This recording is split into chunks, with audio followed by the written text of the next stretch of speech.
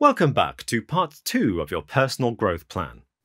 We're now on step five, which is to start thinking about adding health and well-being activities into your schedule. It's important to look after your well-being to help keep you in a positive mindset and to avoid falling into a negative emotional state. Here at Rocket, we understand well-being as being a mixture of six different activities. These are physical exercise, diet, rest breaks, sleep, meditation, and mindfulness. It can be overwhelming to try and juggle all of these six activities into your schedule at first, so you might want to start off by focusing on two or three areas at first, and once those become habits, you can then look into incorporating other areas later on. We recommend that you use exercise file 16 to write down your well-being plan. The simple act of writing your plan down is the perfect place to begin setting your intentions and start positively rewiring your mindset. For this exercise, you can write down the well-being activities that you want to prioritize, as well as an action plan. Remember, this exercise is a constant process that you can be reviewing and amending over time. In this lesson, we're going to be giving you some tips on how to go about setting up your well-being plan.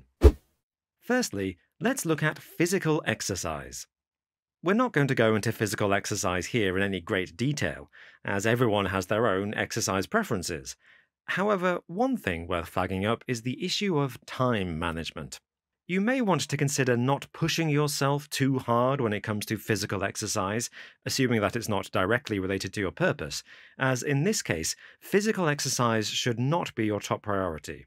You don't want to be doing so much exercise that you end up burning yourself out and unbalancing yourself. Using exercise file 16, write down what your exercise plan could be. If you're currently out of shape, we'd suggest you start off with something small just to help you get the ball rolling, like scheduling in one run a week. It might be the case that once you're up and running, you can then begin adding more of these activities into your schedule later on down the line. Next, let's look at diet. We're not going to go into this one in too much detail either, as everyone seems to have their own dietary preferences, and to a large extent it's up to you to figure this out for yourself.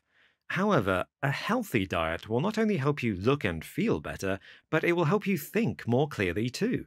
So, it's recommended that you learn to ditch sugary snacks and replace them with natural and nutritious alternatives.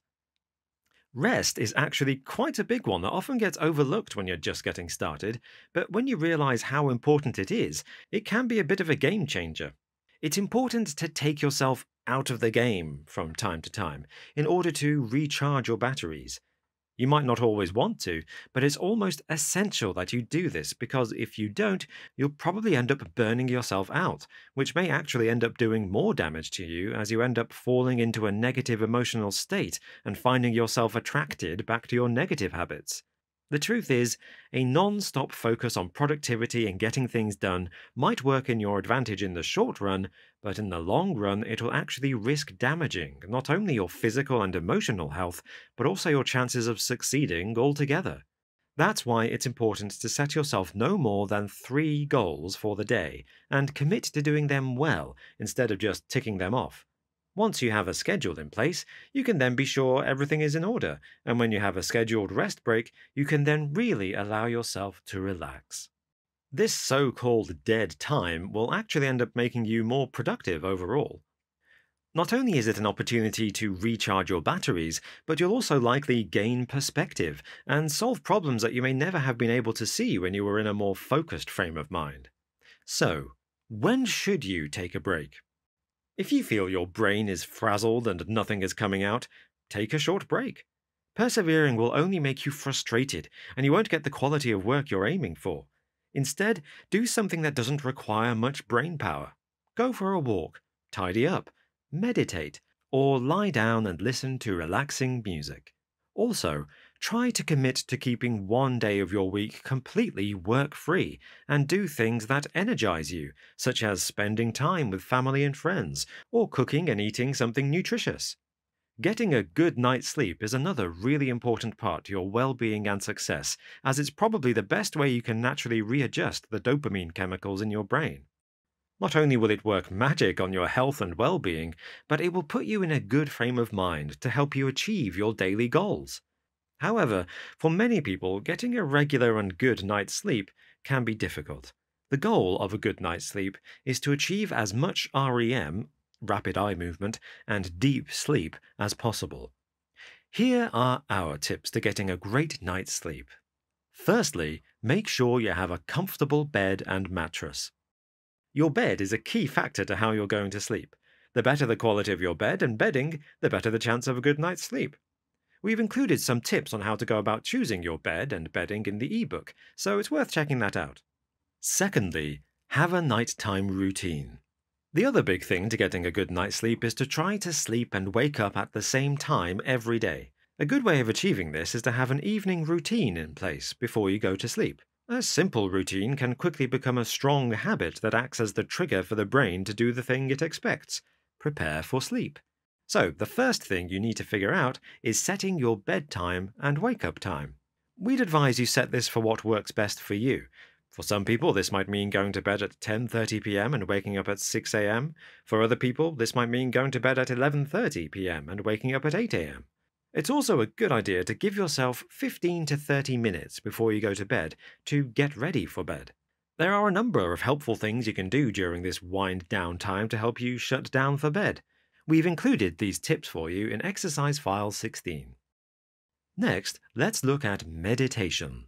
Meditation is essentially permission to sit down, close your eyes, and do nothing for 15 or 20 minutes. This might seem like a bit of a waste of time at first, but is actually scientifically proven to be hugely beneficial. So, when you practice meditation, don't feel guilty that you're wasting time. You're actually doing yourself and your career a favor. Meditation has a number of amazing and scientifically proven benefits, including helping you to relax and lower your stress levels, improve your focus, help improve your mindfulness practice, We'll be talking a lot more about mindfulness later. Boost your creativity. And last but not least, it will improve your intuition. We'd say that intuition is actually the number one benefit of meditation. Your intuition is your gut feeling telling you what you should and should not be doing. It's often referred to as inspired action. Like, I don't know why, but I have this urge to call a friend right now. Or, I'm feeling a strong need to attend that event. It will, almost by magic, help you figure out solutions to problems you might have in your career or business. Your intuition is one of your greatest allies, so by forming a habit of regularly meditating, you're essentially keeping your intuition topped up at a healthy level. For anyone unclear on how to meditate, we expand on this in more detail in the ebook. If meditation is something that you want to become a habit, then a useful tip is to schedule it into your calendar as a 30 minute block of time at the same time every day, and try your best to stick to it and make it a daily habit. Last but not least, the final well being activity to flag up is mindfulness. Mindfulness is the challenge of your lifetime. It is the challenge of growing into your authentic self and setting yourself into a positive mindset. So, what is it? And how do you practice it? Mindfulness is typically thought of as the ability to tune yourself into the present moment, rather than dwelling on the past or worrying about the future. As true as this is, this is only a part of what mindfulness is about. Living in the present is actually just as much the reward of mindfulness as it is a part of the practice. Practicing mindfulness requires more than presence. In summary, there are four parts to it. These include Firstly, at the foundation of mindfulness is having a disciplined personal growth plan to help support your mindfulness practice. Secondly, is tuning into your feelings. Thirdly, there is paying attention to and accepting your reality. And fourthly, is tuning into the present. Firstly, let's look at discipline. If the mind is going to investigate itself, you firstly have to learn how to stabilize the mind so that it can actually do the work of paying attention. Typically, what tends to work best as the first step to mindfulness is that you get your personal growth foundation in place, such as developing the right focus, discipline, and habits. The better your overall personal growth plan, the better your mindfulness practice will be. So, we would definitely advise that you start with getting your overall personal growth plan in place first, and then, secondly, start thinking about mindfulness. Once you do build up some momentum within your personal growth, you then want to start becoming aware of what's actually going on beneath the surface of your mind, i.e., the constant thoughts and feelings running through you. The essence of mindfulness is rooted in an ethical foundation, typically associated within Buddhism, in which paying attention to your feelings is just as important as paying attention to your thoughts. This is what is known as the befriending of the mind with the heart.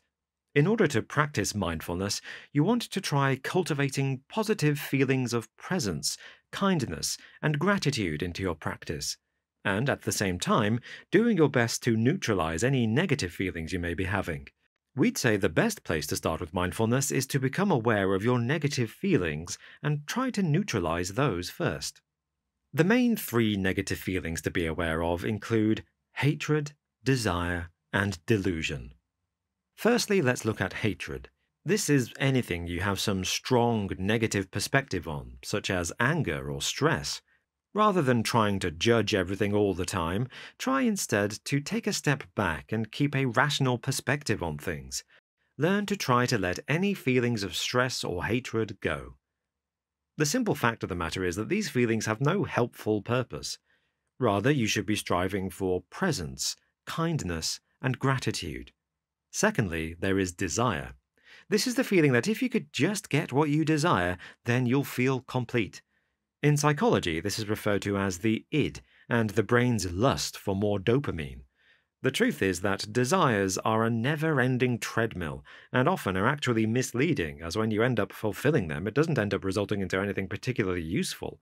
You must try to learn to detach yourself from your desires, not cling on to what you must have, and to quite a large extent, learn to let these things go. Finally, there is delusion. This is about tuning into the present and trying to rationalize what's actually really going on in your life. You have to learn to accept and become grateful for your current reality. So, when it's time to act, you act with a genuine emotional intelligence about yourself and what is happening in your present reality, instead of simply being hijacked by any feelings of hatred or desire. Try asking yourself is it hatred or stress you're currently feeling? If it is, let it go. It's a waste of time and energy. Is it desire you're currently feeling? If it is, again, let it go. More often than not, your desires are misleading you away from your true reality and purpose. Is what you're feeling a true reflection of the reality of things? Most likely, if you bring yourself back to your senses and rationalize things, you'll realize that whatever it is you're feeling probably isn't particularly important in relation to your purpose. Try to retune yourself back into the present moment and being grateful for what you currently have. In a nutshell, whenever you sense yourself drifting into a negative mindset, try taking a step back and instead strive for presence, kindness, and gratitude while refocusing your mind back to your purpose. Here are a few extra tips to help you manage your feelings. Firstly, rationalize your feelings. Make a practice of checking in with your body. Ask yourself, what's my mood like today? By regularly doing this, you'll be building a foundational skill of rationalizing your feelings, which is key to helping you recover when strong emotions do arise and will help bring you back to your mindfulness practice. Research shows that being able to actually name how you're feeling helps you to then manage it. When a strong emotion does arise, try saying to yourself, I don't want to feel this. Acknowledging the resistance again helps bring you back into the present moment and back to your rational senses. Secondly, be kind to yourself.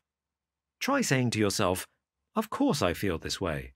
Saying, of course, opens an empathetic dialogue with yourself, allowing you to make sense of the feeling from a more neutral and understanding perspective. Suddenly, your feelings don't seem so ridiculous, they all seem sensible. Research in neuroscience tells us that self empathy is one of the best ways to help manage your emotions. And that's true because offering yourself empathy and understanding why you feel something is another way of integrating your brain. It's using the thinking part of your brain that can make sense of big picture things to address the part of your brain that's having the feeling. Empathizing won't make the feeling go away, it just makes you better equipped to manage the feeling. The third and final tip is to center yourself back into the present moment. Rather than disconnecting yourself by being carried away by a feeling or whatever thoughts are running through your mind, try instead to reconnect yourself back to the present. This is important because this presence helps your brain be more integrated, and a more integrated brain is capable of helping you regulate your nervous system. To center yourself, try engaging with your body and environment. You might want to try standing up, do some stretches, go for a walk, have a shower, or eat something nutritious. While doing so with a sense of gratitude and kindness to yourself, and ignoring any feelings of past or future you may be having. Self talk carries on nicely from mindfulness. As mentioned, mindfulness is largely about replacing negative feelings with positive feelings. In a nutshell, this can be achieved by centering yourself back in the present moment, rationalizing your feelings, being kind to yourself, and feeling gratitude. However, with self talk, we then go a little deeper, in which you then attempt to identify and transform the source of your thoughts. In other words, in which you aim to change your beliefs about yourself. All behavior is belief driven. In order to believe in yourself, you need to firstly understand yourself. And you can do that through the personal narrative or story that you attempt to convince your brain is the truth about yourself. You would have already made quite a good start on this in exercise file 4, where you would have learned more about your personality type, your strengths and weaknesses, and of course you should have a good idea of your purpose. All of these are core elements to your personal brand. However, all of this can be taken a step further by integrating a self talk plan, which we will come on to soon in exercise 17. You can think of self talk a bit like your own inner artist, who is firstly trying to paint the picture of who you are, and then constantly trying to reinforce that image into your mindset. The key to this next exercise is to be kind to yourself when you do this. Also, make sure to tie your story along the same narrative as your vision and mission. The aim of this exercise is to help you believe that you can become the best version of yourself. In order to do that, it's helpful to have a positive narrative at the foundation of your thoughts.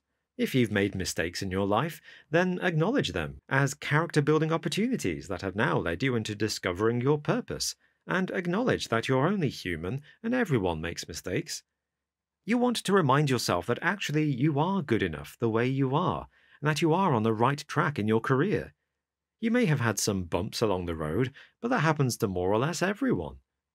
It is often from the mistakes that we make that we're able to learn and find the motivation to grow. It's also helpful to try to identify what your motivation is. Do you dread the idea of working a meaningless job where you feel underappreciated? Maybe you want to see how far you can go when you put your mind to it and fulfill your talent and potential.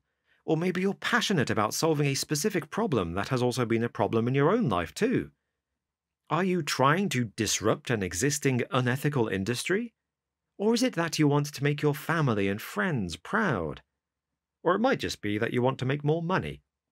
According to Greek philosopher Aristotle, your motivation should be to live a life of reason and virtue. This will not only help you to find your purpose, but is key to elevating the state of your character and attracting abundance, prosperity, and happiness. In exercise file 17, we've given you an example of how to go about structuring your personal brand. This includes outlining your vision and values, why did you decide to make the career choice that you did? What motivates you? What are you passionate about and why? What are your strengths? What are your recent achievements? In a nutshell, remind yourself of how good you are and the story of who you are that you wish to believe about yourself. Most of us are neither trained nor terribly comfortable talking about ourselves, but like any exercise, as you practice defining your brand story over and over, you will improve it. Eventually, the idea here is to make yourself forget about all of your negative nitpicking by largely refocusing your attention to the positive narrative about who you really are. Self talk helps dictate how your brain works. What you attract into your life largely comes from what you focus your attention on. Your brain is like a supercomputer, and the thoughts, feelings, and images you expose yourself to are the program it will run, and this can make or break the narrative you're telling yourself in the previous exercise. Every thought you think and every word you say is an affirmation. Your thoughts and words are declarations of who you think you are and how you perceive the world to be. However, and as we've already mentioned when discussing mindfulness, the big problem you'll most likely face is managing your negative feelings. We all have two voices on our shoulders. One voice is an angel of patience and productivity. In psychology, this is known as the superego. The other voice is your dark side of self limiting beliefs. In psychology, this is known as the id. Essentially, your goal is to eliminate the voice of your id and to replace it with the voice of your superego. You'll become more powerful in creating what you want when you shift your attention in this way, as your superego will reward you with positive feelings of pride. As a result, you'll be able to better tune the frequency of your mind to more positive thoughts and feelings. However, if you listen to your id, your superego will punish you with feelings of shame and guilt. The unfortunate reality for us human beings, though, is that our id seems to be the inner voice that comes most naturally to us. It almost seems to be our default setting. So, in order to overcome that voice, it will take a serious amount of effort. Your id is trying to keep you in your comfort zone of mediocrity. Instead of giving up so soon, try to stop and give yourself some time to analyze your reality. Your id will tell you, you can't do it. It will try to remind you of your weaknesses and invite you back into the familiar pleasures of staying put in your comfort zone. So, you want to be doing your best to keep yourself in a positive mood. This will largely involve, as already discussed, getting your work life balance in order. Another tip is to associate pain with the consequences if you do listen to your id. Following your id will drag down your self esteem and limit your growth. Following your superego will empower you by keeping you focused on your vision and goals, which will help build your confidence and self esteem. Research has shown that we need something in the region of four to seven positive comments to balance out one negative one. So you may need to regularly remind yourself of how good you are and your personal narrative using exercise 17. Thankfully, the brain's capacity for neuroplasticity works in your favor here. When you begin to constantly remind yourself of your personal narrative through positive affirmations, you create new pathways. You begin to train your brain to alter its bioelectric habit trail, essentially changing its response to situations by generating different thoughts. This, in effect, consciously changes the way you think and literally helps you create your new desired mindset. Any repeated thought is just a set of neural networks that have been activated many times, becoming the path of least resistance and the easiest thing for your mind to think about. This next exercise is really powerful. Positive affirmations are statements you can write down and repeat regularly to bombard your mind with the correct thoughts you should be thinking in order to help your self talk. The aim of this exercise is to help you override the limiting ideas and negative beliefs you've taken on and internalized over the years with positive statements that assert who you want to be and how you want to experience life, as you will have outlined in your personal narrative. So, how do you practice positive affirmations? Once you have written down your personal brand story using exercise file 17 and you're happy with it, then we'd recommend buying a small notepad and writing this down again on there. You can then keep your notepad on your desk or your bedside table. This then allows you to reaffirm these affirmations to yourself as part of your morning and evening routines. A National Institute of Health study found that when you express kindness or gratitude, you're sending good dopamine to your brain. This gives you a natural high, motivating you to do good and express gratitude even more. Gratitude is also scientifically proven to reduce stress and increase the quality of your sleep. Not only this, but it will also help you develop a genuine connection within your relationships with others. So, how do you integrate gratitude into your life?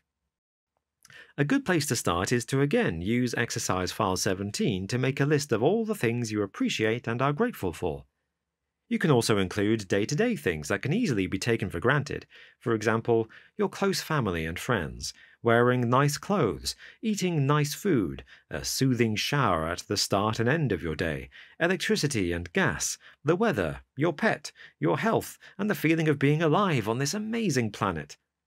As you learn to focus on what is good about things, rather than what is wrong with them, you'll be amazed at how your relationship with your surroundings will change. Using the same notepad as before, write down your gratitude list. And again, try to get in the habit of regularly reaffirming these to yourself as part of your morning and evening routines. Creating an initial list is a good start, but you'll most likely continue to edit this list over time. The key here is consistency. It might not always feel like a productive exercise to do, but the aim of the exercise is to slowly and subconsciously bombard your mind with the correct program that you want it to run. Now that you have a clear vision and have set yourself big goals, a really powerful exercise that you can then do is to embed your goals and affirmations into your subconsciousness. To do this, you can use a subliminal affirmation software on your laptop called MindMaster. You can find this in the Tools folder. At $40, it's relatively cheap compared to some of the other options out there, and it's easy to use and has good customer support too. This is an optional exercise. We personally subscribe to the idea of tapping into the power of the subconscious mind, but with the scientific evidence for this still debatable, we can appreciate that this might not be everyone's cup of tea. The idea here is to pin down visual and written cues of your positive affirmations and goals into your brain. By regularly and subconsciously reviewing these cues while working on your computer, the idea here is that it will help stamp your goals and affirmations into your subconsciousness. The best way to start is to review your goals, positive affirmations, and gratitude list and use these to help you create your subliminal affirmations. The software also already comes with lots of pre installed affirmations you could use too. We recommend that you use a mix of the pre installed affirmations and your own goals and affirmations.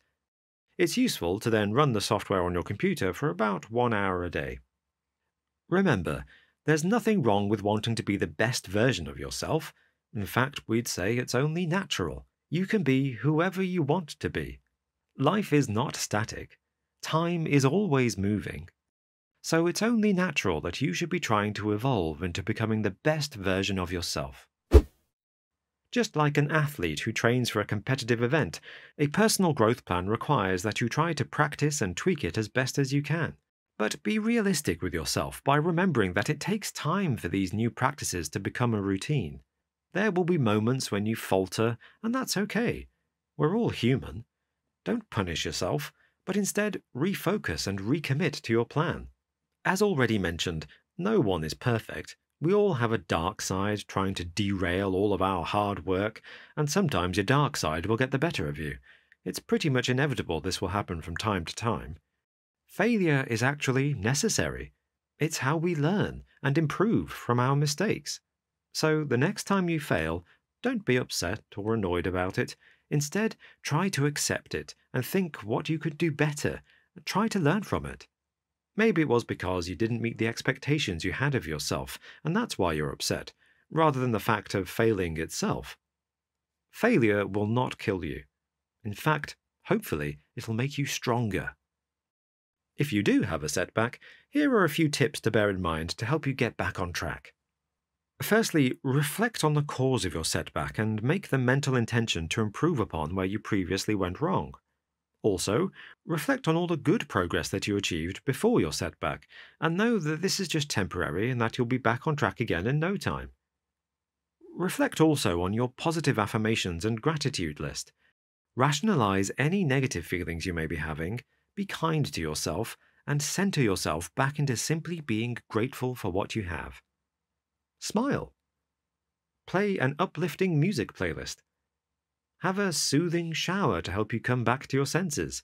Make yourself something nutritious to eat. Meditate. Exercise.